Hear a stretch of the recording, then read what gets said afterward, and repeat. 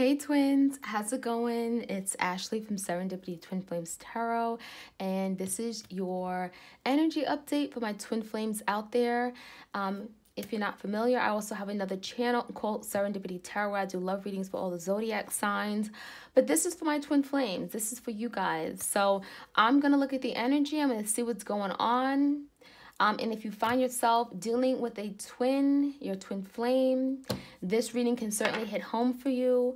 Although it does not limit okay it is not limited to just twin flames so take what resonates leave the rest. Um be sure to like share comment subscribe. I am also offering my personal love readings. Um yeah so if you are interested in that do check me out okay? So let's jump right in all right, messages for my twin flames out there. Eternal love, eternal love. It says love is love is love and it transcends physical death. So I feel like there definitely yeah was an ending between you and your twin, right? We have two souls that are reunited, that are I'm sorry, united, okay, in the skeleton form, physical, um, at one point. But it looks like there was some kind of ending here, right? But your souls are still connected. It's telling me that the love is still there, even though you guys are not together in the physical form, okay, not in a 3D dimension. There there is the eternal love. And I feel like some of you guys, your person was struggling maybe with really showing that love in the physical form. Okay, you could have been dealing with someone who had some issues with showing showing the, the love in terms of not just saying it, right? But actually showing like by behavior, right? Actually being there for you, being present. Um, you know, whether it's just um showing you through actions you know? I feel like a lot of you guys you felt this person didn't really show you something here. They didn't show you the real how love um how real the love was between you guys even though it really was real. Because this eternal love is unconditional. It doesn't die okay? We have the invisibility energy authenticity. So this is someone who, who played invisible okay? I'm getting that they didn't want to be seen. This is someone who acted as if um you know it wasn't real. They acted as if something here wasn't real because they didn't want to acknowledge that they were in love with you. So you could have been dealing with someone who had some vulnerability issues. They didn't want to be authentic okay? There was something here about them being authentic being true to who they are being true to um you that they actually were really in love with you so I feel like this is someone who was um, unawakened for sure because they're walking around like this. Okay, they're walking around in this energy of not being um it not being who they really are, not being authentic, not being true. And so some of you guys, you got to a point where it was like, who are you? You questioned who this person was, who you fell in love with. There may have been some things you saw in this person that you never knew existed. So they showed you a whole different side of them because they played invisible. We have the zombie energy. Zombie, it says control. So there's something about this person trying to control their feelings, control themselves. Um, I feel like a lot of you guys, there was an energy of wanting some kind of movement, wanting change. Maybe you wanted this person to commit. You wanted this person to um, move things forward. And I feel like they resisted with this zombie energy, this person resisted a lot. They tried so hard to um, control their feelings, control their desire um, to move forward with you, to give, okay, fully and wholesomely. This is someone who really acted as if, I'm getting they played you for a fool. They acted as if this love was nothing to them. So there could have been an ending because this person honestly did not want to live in that energy of being in love with you, right? They didn't want to own it. So they played dead. They played invisible, right? That zombie energy. They played dead. They acted like, oh, this is nothing. So when something here ended, when a relationship ended, they're like, oh, it's okay. It's all good by me. It's all good.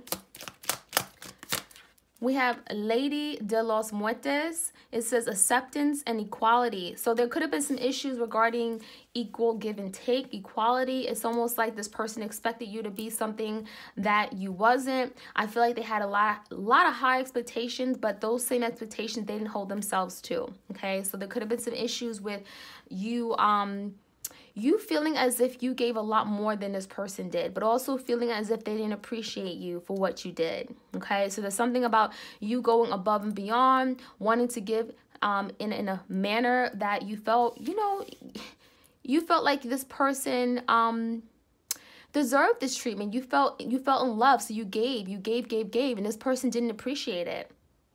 And so there was a situation here where um, they didn't really accept the connection. Therefore, they wasn't able to give in equal, just manner. They didn't give you what you deserve, but you gave them more than enough, right?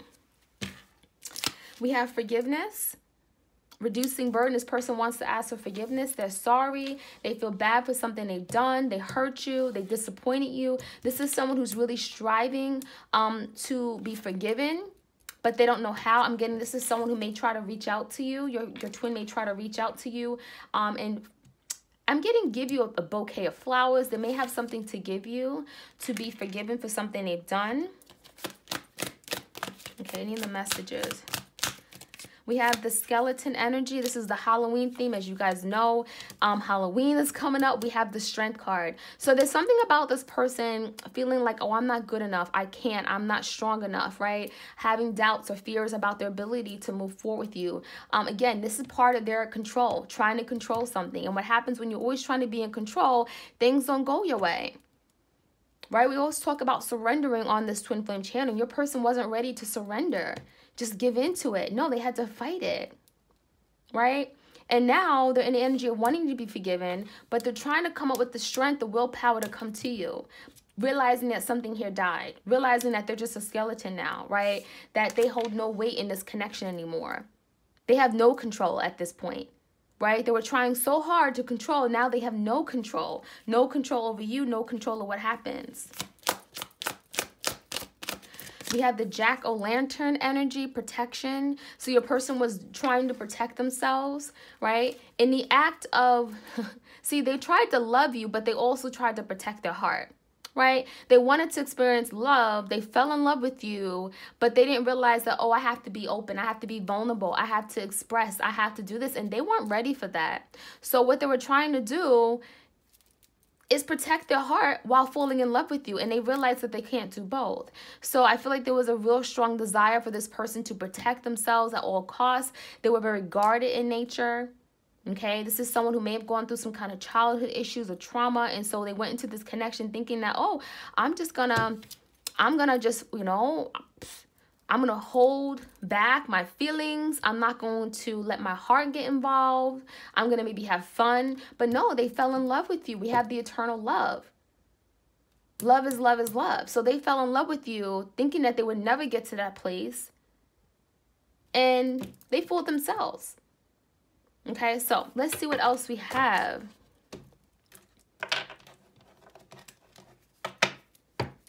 Um, let me get my Epiphany cards. This is one of my decks on my Etsy shop. You guys have seen this before. Let's get some messages from the Epiphany.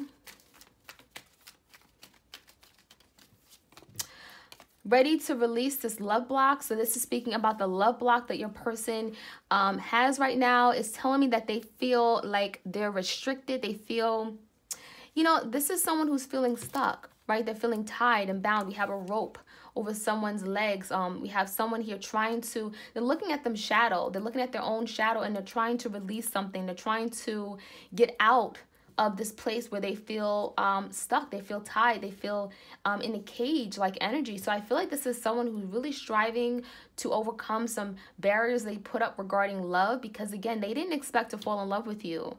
They didn't expect it. But when they did, right, they actually wanted to experience the love, but then they realized that there's a big love block here.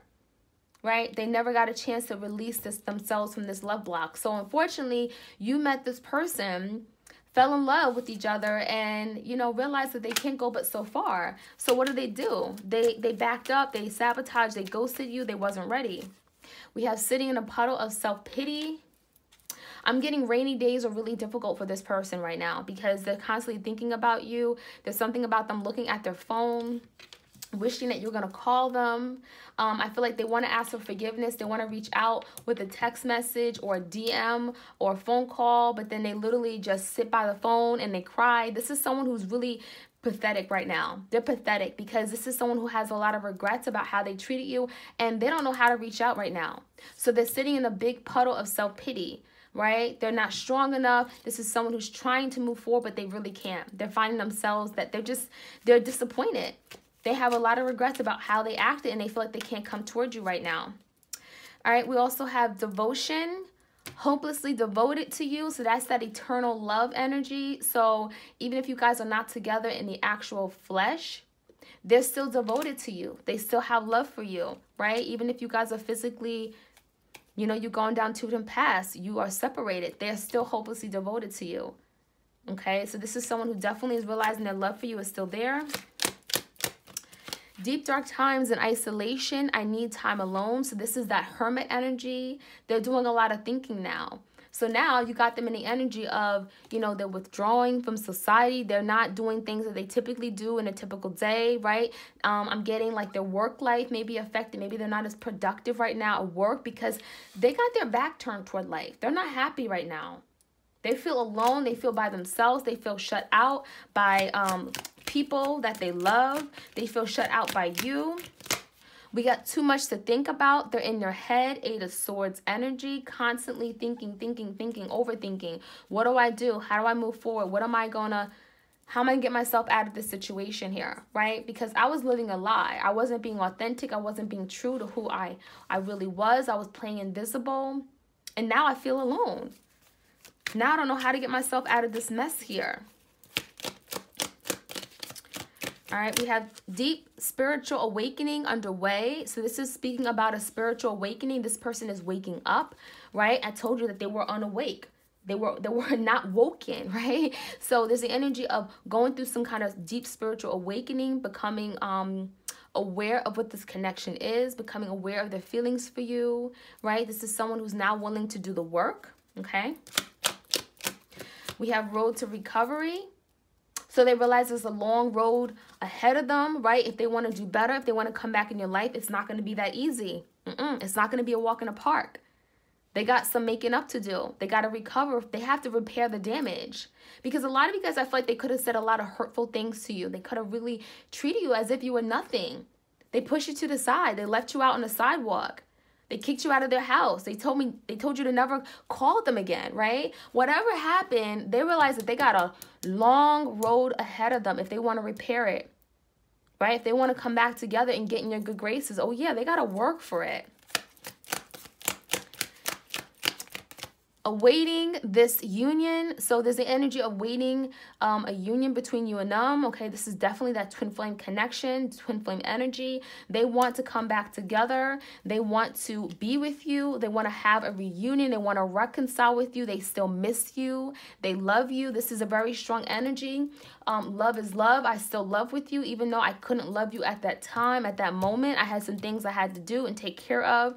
Okay, so there's an energy your person knows. They know what this is. They know that the love was real. Okay. All right, any other messages for my twins out there? Hold on, y'all. Okay, let's see. Any other messages for my twins? Completion okay so some of you guys um wow they're realizing that you were the missing puzzle piece in their life you completed them do you see this puzzle piece they realize that you were the one that made their life feel complete okay you are the missing puzzle piece. So just when you guys broke up or separated, they felt broken. They felt like they were fragmented, right? They felt like now they're in this place of lack because there's something missing in their life. And they realized it after you were gone. So they didn't realize it when you were there because they they weren't selfish right? They didn't realize it but now they're awakening to what you mean to them okay? All right any other messages? We have the burden so your person is feeling burdened right now about the, the journey forward. We have road to recovery. So this is someone here who's looking in the horizon. They're like, what the hell do I got to do to come back in my person's life? Well, I got to climb these damn mountains. I got to be forgiven. I got to make up for something I didn't do. And look at their face. They're like, what the hell? I don't know if I can do this. The strength card, right? This is someone who realized that they got a lot a lot to repair. Okay, there's a lot of work ahead of them if they want to come back in your life. So they feel there's a lot of burdens right now they're carrying. Clinging to the past. It's like the Five of Cups energy. They're constantly thinking about what they don't have. They're thinking about what they messed up. They're thinking about how they messed up, how they let you down. A lot of sadness, a lot of disappointment here. With the Five of Cups energy, clinging, but they're clinging to you. So this is someone who may have never been needy. They may have never been the kind of person to cling onto people or to things or to objects, but for some reason, they can't seem to move past you. They thought that they'd be able to forget you, they'll ghost you, and they'll never think about you. No, that's wrong what they're realizing that as soon as they let you go, they want you back. They realize how much they miss you. So this is someone who's clinging to what they had with you, all the good times, all the good memories, right? It's something about you that you you brought a lot of vibrant energy to their life. You brought a lot of fun. You brought a lot of flavor, okay? And there's something about their life has not been the same without you since you guys have gone down different paths. So they're thinking about what you mean to them again, okay? Um, letting go came out in the verse. So this is that Eight of Cups energy. They want to come back. Eight of Cups came out in the verse. So this is the energy of I want to come back. Is the door still open for me? This is someone who's teary-eyed. We got a lot of water energy. It's talking about again some um feelings emotions water has to deal with our feelings emotions so this is someone who's very much in their emotions right now they want to come back in your life but they're like well what the hell do i gotta do what do i have to do to come back in a lot of you guys, they see that now you're very guarded, right? At first, they were guarded, they were very protected, they were closed off, but now they see that you're that same way because you're now treating them how they treated you, right? You gave them a whole, now you're giving them a dose of their own medicine. So now they want to come back and they're like, well, damn, I don't know if the door's still open. We have the exhaustion card this person is trying to get over some kind of um, difficult situation in their life. This is someone who's exhausted. They're, they're in their, um, their energy of feeling tired, feeling wounded. They don't know how to move past this right now. They want to almost give up, but they know they shouldn't. Okay, this is the energy of still wanting to strive for something, still desiring something enough, but they feel like, well, damn, I'm just gonna fall down flat on the floor because I don't know if I can do this. So they're questioning their ability to do something here. All right. Let's see what other um unspoken messages we have for your person. All right. The unspoken love messages for my twin flames out there. What messages do we have for my twin flames out there? I miss you now that we are apart. I still feel your presence, your energy around me. Yeah, this person misses you. But again, they didn't miss you until you left. They didn't miss you until they pushed you away as soon as you go out the door, as soon as you leave, as soon as they say, "Oh, I'm I'm done with this," that's when they miss you, right? That's when all of a sudden they feel these strong feelings of love, right? Now they're like, "Well, damn, I feel broken. I feel incomplete." I'm scared you will not accept me now. So now they're freaking out. What the hell do I do? How do I come back in in my person's life? I don't think they're going to look at me the same. They're probably disappointed. They probably don't even want to see my damn face, right? I struggle with revealing my true feelings and emotions. That's that protective energy, right? They're protecting their heart. They didn't want to um, be hurt again. Maybe they dealt with betrayal in the past and they didn't want to express themselves. They had a difficult time being vulnerable. They didn't want to be open with you. And so that was the demise of this connection. Hurting you hurt me even more so they hurt you, but hell, they hurt themselves too. Hurting you help hurt them, right? They thought they were only going to, you know, just have fun, come in here and just like win your heart, and then they could just leave and not feel any hurt. No, they got emotionally invested in this connection too, but they didn't show it. That's the difference. I should have listened to my intuition. Their intuition was telling them something here, and they ignored it. They didn't go down the divine path that they were supposed to go with regard to you. And so they made a detour. They took another, they made another um, decision. They took a whole nother road. And so they're saying to themselves, well, damn, I should have listened to my intuition because my intuition was right about you, about the connection. The distance between us is killing me. So now they're feeling like, well, damn, I lost my person the separation, the physical separation, the, the emotional separation is taking a toll on me. It's killing me. It's actually causing a death within this person, a soul death. But this soul death is allowing a person to look at themselves, right? There's a soul rebirth. They're awakening. They're awakening to this connection, to this twin flame connection. So this death is actually beneficial because it could be breaking down this love block because they want to release this love block. This is ready to release it. And the only reason why they're ready to release is because they're coming awakened to what this love was. And they're tired of fighting this. They're exhausted. I'm tired of fighting this. I can't keep doing this. I want to let go of the burden. I'm I'm hurting, right? So that is what I'm seeing with my twins out there. I hope you enjoyed this reading. Like, share, comment, sub, like, share, comment, and subscribe. Hit that notification bell so you know when I upload these readings for you, okay? Take care, y'all. Bye.